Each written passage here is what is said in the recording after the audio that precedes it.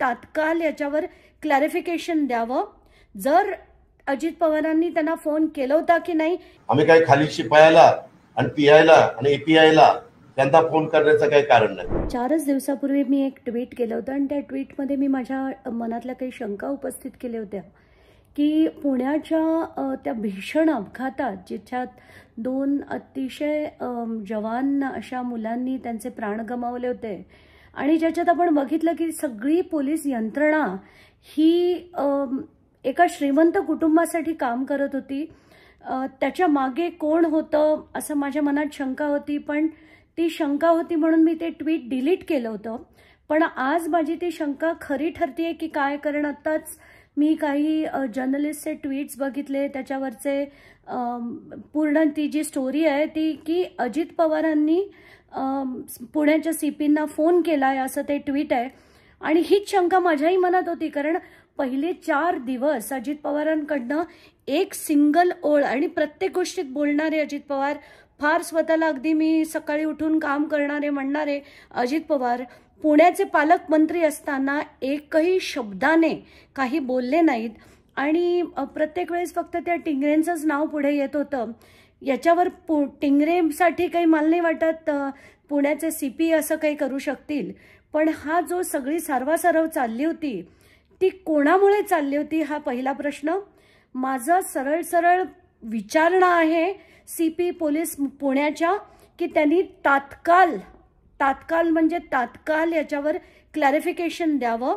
जर अजित पवारांनी त्यांना फोन केला होता की नाही हे सांगावं केला नसेल तर उत्तम पण केला असेल तर अजित पवारांचा ताबडतोब रा आज राजीनामा घेतलाच पाहिजे. सीएमनी त्यांच्याकडनं राजीनाम्याची मागणी केली पाहिजे आणि फडणवीसांनी सुद्धा त्या अजित पवारांकडनं राजीनामा घेतला पाहिजे. ही this is something that I demand की सी पी पोलिसने ताबडतोब क्लॅरिफिकेशन याच्यावर दिलं पाहिजे.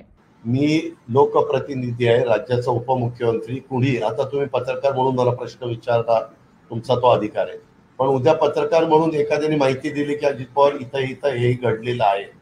आणि तुम्ही पालकमंत्री असलेल्या ठिकाणी घडलेलं आहे. तर आम्हाला ती बातमी आल्यावर आम्ही मी शहरातलं असेल पुण्याचं तर पुणे आयुक्ताला सांगतो पिंपरी चिंचवडचा असेल तर पिंपरी चिंचवड आयुक्ताला सांगतो कारण तेच प्रमुख आहेत. आम्ही काही खाली शिपायाला आणि पी आयला आणि एपीआयला त्यांना फोन करण्याचं काही कारण नाही. मी सांगणार तिथल्या पोलीस प्रमुखालाच आणि ग्रामीणचा असेल तर जिल्हा पोलीस प्रमुखाला. त्याच्यामुळं माझ्या कानावर आल्यानंतर मी सांगितलं ह्याच्यामध्ये मी पत्रकार मित्रांनो तुम्हालाही सगळ्यांना माहिती आहे अनेक वर्ष तुम्ही मला ओळखता. मी अशा प्रकारच्या कुठल्याही घटना घडल्यानंतर कुणाला पाठीशी घाला असतं तर माझ्या कोणी तोंडातनं पण येत नाही. उलट कधी कधी मी म्हणतो तिथं अजित पवार जरी दोषी असेल तर त्याच्यावर कारवाई करा. हे माझे शब्द असतात नाही आणि सगळ्या डिपार्टमेंटला माहिती आहे.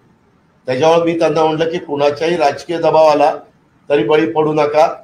श्रीमंताच्या घरातली घट मुलाकडनं घडलेली घटना आहे. कसल्याही प्रकारचं वेगळ्या प्रकारचा दबाव येण्याची शक्यता नाकारता येत नाही. आर्थिक प्रलोभनं दाखवण्याची शक्यता नाकारता येत नाही. याला कुणीही बळी पडता कामा नये ही खबरदारी पोलीस आयुक्त या नात्याने तुम्ही घेतली पाहिजे. अहो, जे- जे जे कोणी केलेलं असेल त्याची चौकशी करा. आणि जे दोषी असतील त्याच्यावर कारवाई करण्याच्या सूचना स्वतः तिथं जाऊन प्रेस कॉन्फरन्स घेऊन देवेंद्रजींनी सांगितलं. तुम्ही पत्रकार मित्रांनी अनेकदा एकनाथरावजींना विचारलं एकनाथरावजींनी पण सांगितलं. मी पण पुण्यामध्ये किंवा इथं असताना देखील त्यांना सतत सांगतो की ह्याच्यात कुठलाही काही कुणी पळवाट काढता कामा नये. जो कोणी दोषी असेल त्याला शासन झालं पाहिजे?